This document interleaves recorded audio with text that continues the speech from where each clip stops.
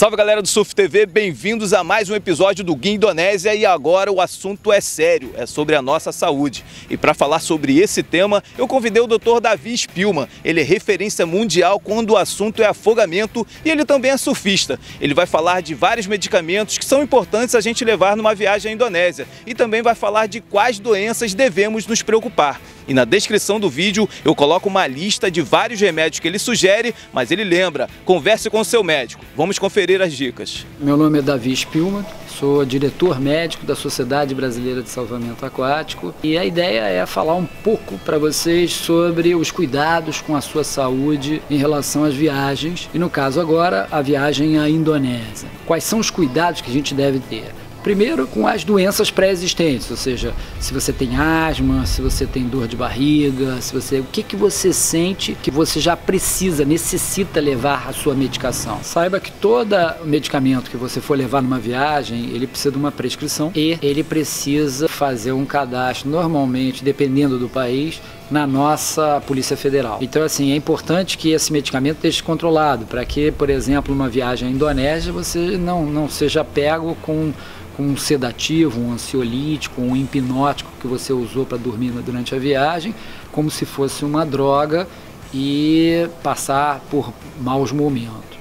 Quanto à questão das vacinas e os medicamentos que você toma antes de ir à viagem, os riscos maiores são em relação à febre amarela, malária, hepatite B, desinterias e diarreias que você possa ter e cada uma tem um jeito diferente de você lidar. Febre amarela, vacinação protege, uma dose já protege o resto da vida. Então acho que você deve fazer.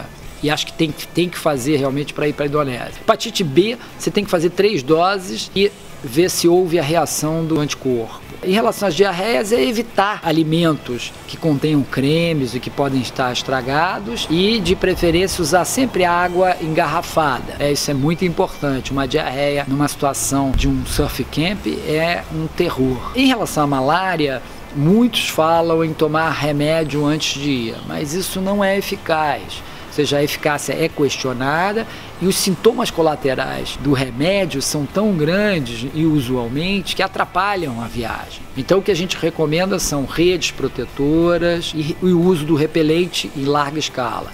Usar o tempo todo o repelente e manga comprida, calça comprida, quer dizer, sempre que for possível, é claro. Em relação às infecções, que são possibilidades frequentes, ou seja, você tem uma amidalite ou uma, uma infecção respiratória, uma pneumonia, ou até uma lesão por coral, que a gente vai abordar depois e precisa tomar um antibiótico, o antibiótico ideal é amoxicilina com clavulanato e isso precisa de prescrição o seu médico deve prescrever isso para você levar por 15 dias. Quer dizer, até isso serve para infecção urinária, para vários tipos de infecção. Então é um antibiótico que tem um largo espectro, como a gente diz, e ele pode ser usado como backup para vários tipos de infecções. Em relação aos traumas, principalmente em Indonésia, o trauma principal é coral. O trauma que não pode acontecer de forma nenhuma é bater com a cabeça ou daqui para cima.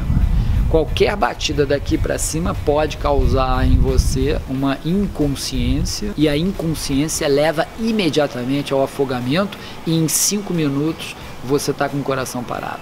Então isso não pode acontecer de jeito nenhum. A gente vai abordar em outro vídeo como tratar esse tipo de situação crítica. Em relação às traumas mais comuns, é uma torção, uma batida, você pode usar um anti-inflamatório para ceder um pouco a dor. Então é bom levar um anti-inflamatório, um analgésico, é bom levar uma pomada de antibiótico para depois que você limpar a lesão, escovar a lesão, do coral e tirar todas as bactérias dali daquele local, que você possa usar uma pomada com antibiótico. Essa pomada deve ser retirada diariamente através de escovação e uma nova pomada deve ser passada. Muito obrigado, doutor Davi Spilman, por essas dicas valiosas, porque a última coisa que a gente quer numa viagem para a Indonésia é ficar doente ou ficar doente e não saber como resolver os problemas. E galera, no próximo episódio a gente volta para Mentawai, só que para a região sul. E quem vai estar com a gente é Cadu Maia, brasileiro que trabalha há muito tempo lá